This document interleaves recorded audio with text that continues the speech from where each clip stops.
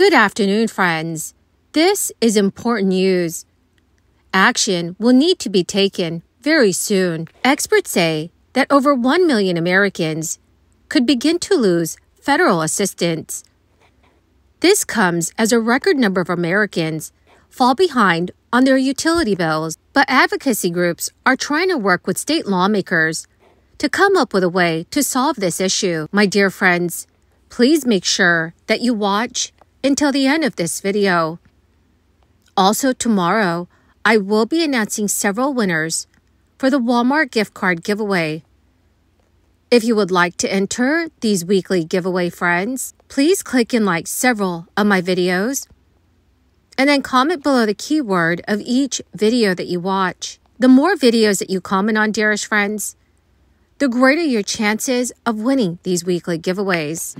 And um, the assessment is that the U.S. has done the best job in, in coming out of COVID. And not that every economic issue is solved, but in terms of inflation going down and the recovery dramatically stronger than what was predicted, dramatically stronger than uh, other nations, uh, there's a lot to be said for the policy actions that have been taken uh, by Congress um, in, in order to help the U.S. have this strong economic recovery. Now, on housing, I was a fair housing lawyer for um, 18 years before I got into uh, state politics. And so this is a topic that's very, very close. I was also a local elected official and a governor dealing with the LIHTC, LIHTC, dealing with home uh, funding and knowing how important it is.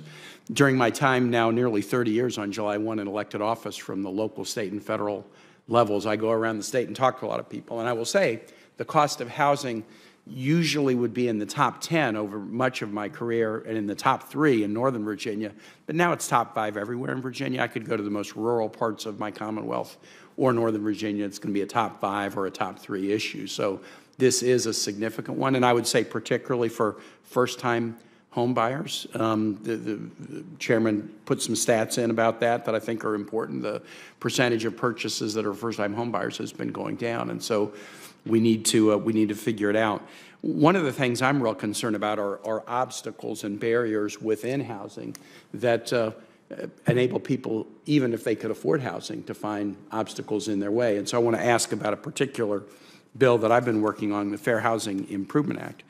Um, the Housing Choice Voucher Program provides rental assistance to allow families to find rentals that work for them. There are other programs like Section 8 vouchers. VA has some housing choice vouchers. And in theory, families can use this assistance to move to neighborhoods of their choice and get access to schools, get access to transit, get access to jobs. However, what we find is many uh, landlords and those who have rental properties say that they refuse to take vouchers. They refuse to take government income uh, as, a, as a source of income, and they use that as a reason to turn people down. We don't accept Section 8 vouchers. We don't accept housing vouchers. We don't accept some of the VA vouchers. Uh, I think there's a significant body of evidence that suggests that that's pretextual um, the notion of we don't take vouchers, you'll, you'll take somebody's pay stub when they could be sacked tomorrow as evidence of their ability to pay. Somebody having a voucher, a voucher is a much more likely long-term reliable source of income than anybody's pay stub would be. Um, what we've seen around the country, including in Virginia, is um, common, uh, Commonwealth and states adding to the fair housing laws and prohibiting discrimination on the grounds of source of income. Um, I introduced a bill first with, uh, with Senator Orrin Hatch to do this. Uh, Utah was one of the early states in the country that uh, prohibited discrimination on the source of income, and we haven't yet been able to get that passed. According to CNN News, when an Arctic blast hit Massachusetts earlier this month, the phone started ringing more frequently at the Citizens for Citizens. Desperate residents in the southeastern part of the state needed help with their mounting energy bills. But the nonprofit group had to tell many of the callers that it could not rescue them this time. Congress is on track to allocate $2 billion less for the low income home energy assistance program, so Massachusetts has been forced to cut the amount of aid it can provide to people who are in need. Last year, residents who heat their home with oil could receive up to $2,350 of their energy bill paid, while those who use electricity or natural gas could receive up to $1,550.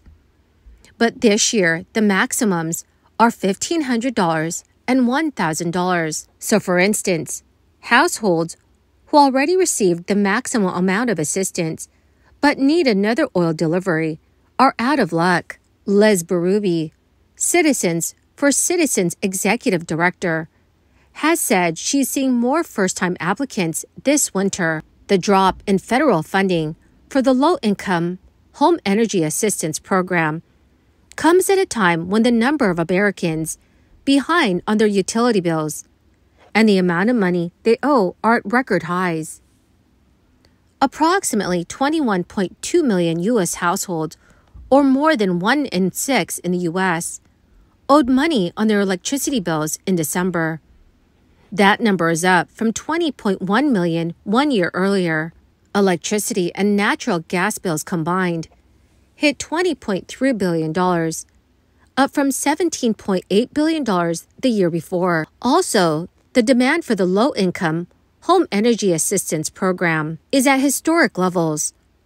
It served 7.1 million households in fiscal year 2023, which ended September 30th.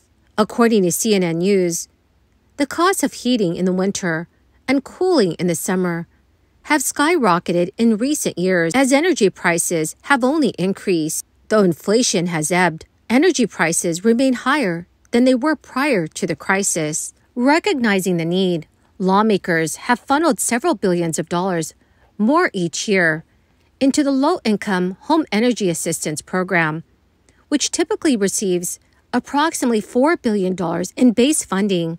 The Biden administration in October requested an additional $1.6 billion.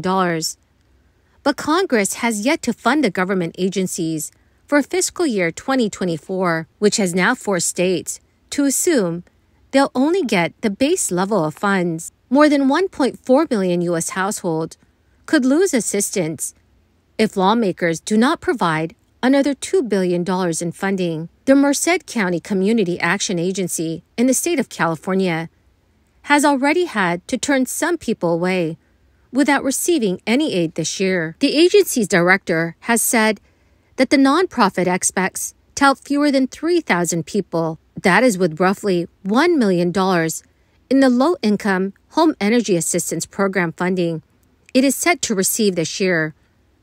That's far from the more than 7,000 people it assisted last year when it received $2.4 million in funds.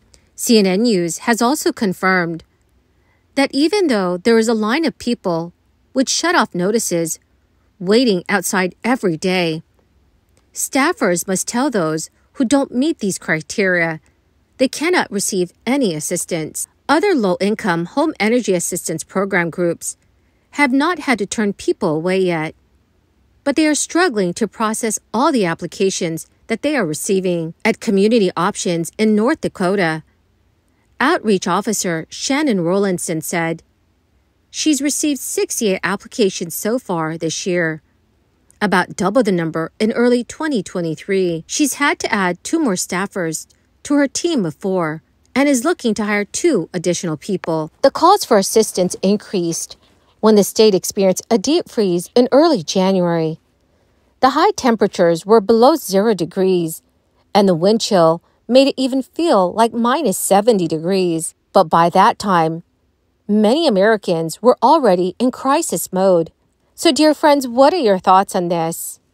Please let me know what your thoughts are in the comments section below. Well, my awesome and amazing friends, that is the end of my daily stimulus update video for today. To say thank you, I will be announcing several winners for the Walmart gift card giveaway tomorrow. Please click and like several of my videos and then comment below the keyword of each video that you watch. The more videos that you comment on, friends, the greater your chances of winning these giveaways.